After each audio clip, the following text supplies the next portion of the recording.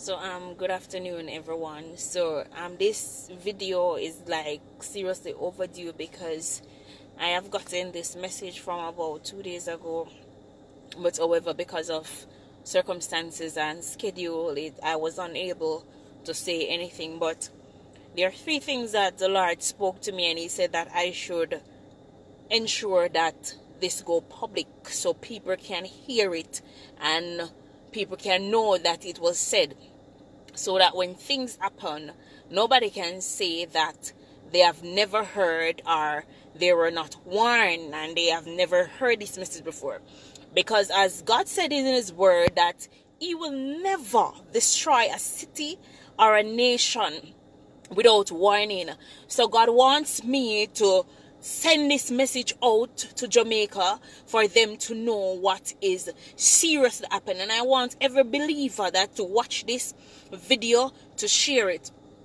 I can recall sometime last year, if you will scroll through my feed, you will see it Sometime last year, the Lord says to me that I must make a video. I am not a Facebook person that likes, I do not like the spotlight.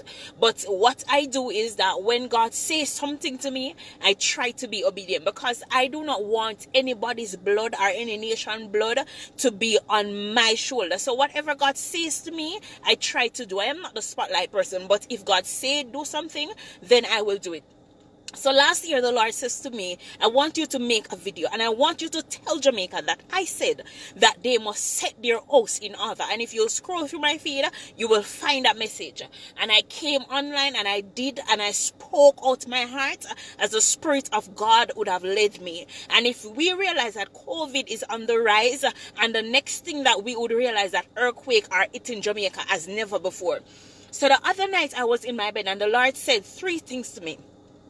He said that Montego Bay, especially Montego Bay St. James, is in trouble. And he says to me that if Montego Bay St. James don't begin to repent, then after he's through with Montego Bay, then Montego Bay will no longer be a parish. The Lord says to me, what he is about to do to Montego Bay, not even half of what has been done to Haiti won't be compared to it.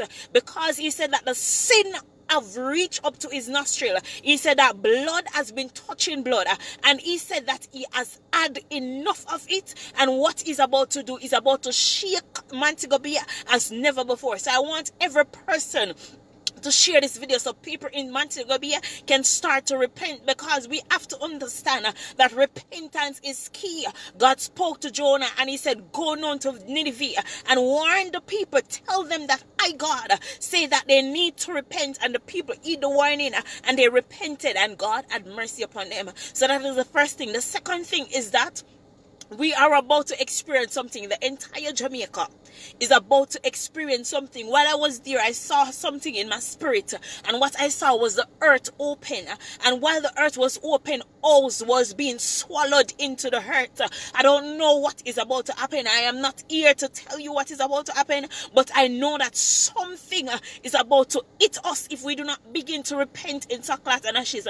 God said to me, I have been sending warning upon warning, and instead of the people take it. They have taken me for a joke. But God says to tell Jamaica that the time of joking is over because He is about to move as never before in Jamaica. We believe that because we have praying churches uh, that we can get away with everything, but it is not so this time around. Uh, if Jamaica does not repent that what that what that is what is ahead, I am sorry for us as a nation. Uh, because when God is through with us, uh, we will not be able to recover from this. We, we, we, we have been trifling with the mercies of God for, for a time now, and God says that He has had enough the sin of Jamaica has came up to his nostril and he is about to move. The second thing is that God says that he has been trying to speak to the leaders of this country Oh, bless the name of Jesus. And he said, No one has been listening to him. He said, The, the more he speak to them, God said he has been laying conviction upon the hearts of these leaders. And he said he has been doing things to get their attention. And God said, instead of the people, the, the, the leaders turning to him, they are doing their own things. And God said that the leaders of Jamaica need to lock themselves in their secret closet uh, and seek them because what is about to do, they will be left in a state of confusion uh, that not even they themselves, the knowledge and the wisdom that they think uh, that they acquired, will not be able to help them. So God is saying He has been trying to reach the leaders of this country. And I don't care who they are, I don't care what they are doing. I want to say to the leaders of this country, if you hear this video, God says He has been trying to reach out to you. And He says to tell you to lock yourself in your secret closet and seek Him. Because if you don't seek Him, then a great confusion is about to come up on this nation. But I say to you today, as you hear this message, heed to the in Jamaica. Jamaica. Jamaica Hallelujah. Jamaica. God is calling you. Rabababa shitilibibi sata. Ni mama satele bebebe shotolobo bobo kotolobo sata. Jamaica. God is calling you. Jamaica. Jamaica. God is calling you to repentance. And he said, if we do not repent, what is about to do to us will not be able to compare to that of Haiti.